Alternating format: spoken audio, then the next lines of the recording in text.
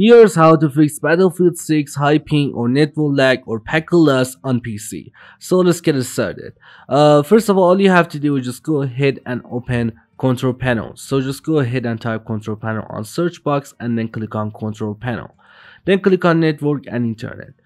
Then click on network and sharing center.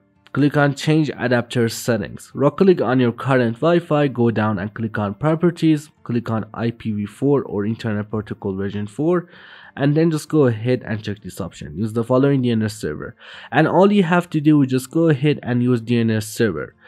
I recommend to just go ahead and use uh, Cloudflare DNS enter 1.1.1.1 for primary and 1.0.0.1 for secondary. And also guys, you can just go ahead and use Google DNS. Just go ahead and enter uh, this DNS server and then click on OK. And also you can search on your web browser and find a good DNS server for your region.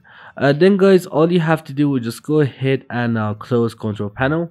Uh, type cmd on search box right click on command prompt or cmd click on run as administrator i'll put these comments in description so just check the video description. Uh, go ahead and copy the first comment.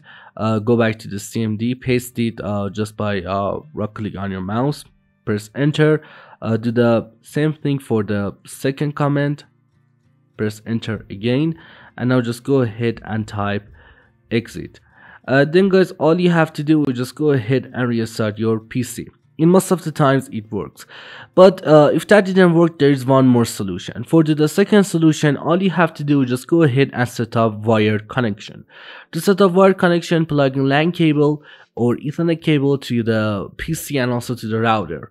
Uh, it's more stable than wireless connection. You can get lower ping and fix this issue. Anyway thanks for watching video. Please go ahead and subscribe my youtube channel. Peace out